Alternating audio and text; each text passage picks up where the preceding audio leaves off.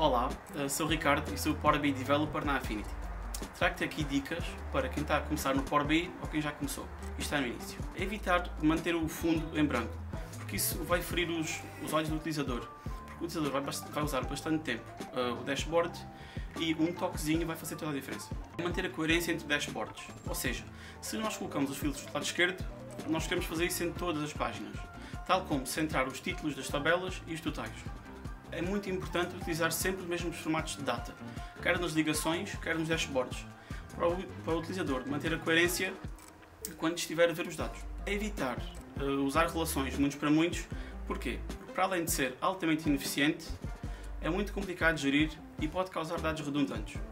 Por outro lado, uh, para ajudar também a manter a eficiência no Power BI, é muito bom ter uma base de SQL. A linguagem analítica do Power BI é DAX e M, mas a maior parte do tempo tu vais estar a fazer métricas em SQL, que vai poupar memória, tornar o Power BI muito mais leve e muito mais rápido. Eu recomendo a utilização do DAX Formatter, que é uma, uma ferramenta criada por profissionais de Power BI, que vai ajudar a formatar o teu código. Vai-te ajudar a organizar o código e a fazer o debug para quando houver um problema. Utilizar variáveis quando estamos a criar métricas. Ou seja, quando nós estamos a fazer um código muito extenso ou um bocadinho complexo, uh, é recomendado utilizar variáveis para dividir o código e, assim ser mais fácil de ler e de, uh, se for possível, se for necessário, corrigir um bug. Ser ativo na comunidade Power BI.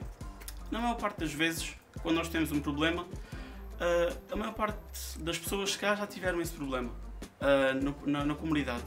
E é muito interessante tu ir lá, pelo menos dia a dia ou dois em dois dias, porque podes ajudar as pessoas e algum problema que tu tenhas, eles também podem ajudar. Então, espero que estas dicas tenham sido úteis e se quiseres saber mais, vai ao meu artigo no blog with.